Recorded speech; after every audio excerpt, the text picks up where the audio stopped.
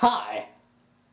Did you ever have those moments in class where you thought, oh wow, this work is so great, I'm going to proudly present it to my teacher. And then your teacher's just like, no, this is shit. Go back and write it again, you're a failure.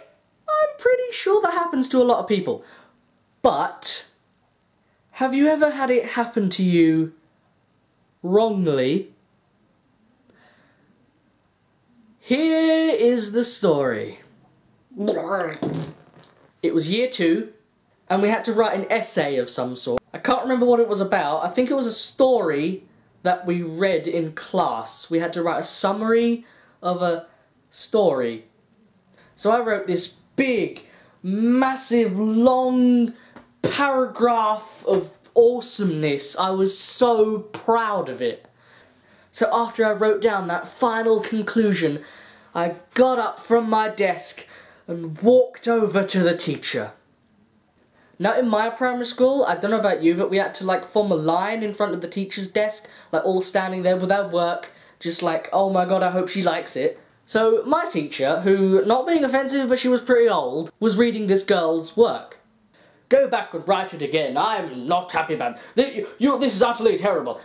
I just like completely ripping into her, just like, I could see she was about to cry.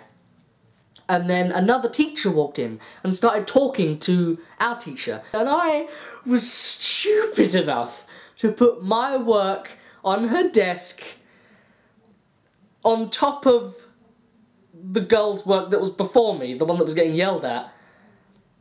So she's talking to this other teacher and she looks back and just assumes the first bit of work on her desk is the girl's.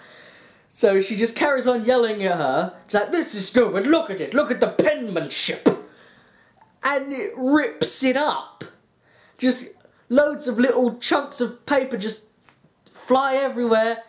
And I'm there like, dude, that was my work. I spent ages on that. And then she starts apologizing. She's like, oh, Michael, I'm so sorry. Oh, oh, can you forgive me? And I start to get really sad because I spent the whole lesson on that essay and then she just ripped it up right in front of my face. yeah, so I had to go back and write it all again.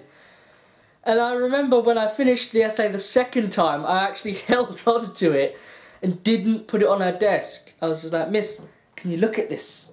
And she was like, yeah, okay. So, yeah, that's the story.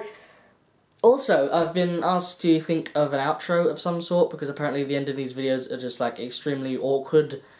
So, goodbye!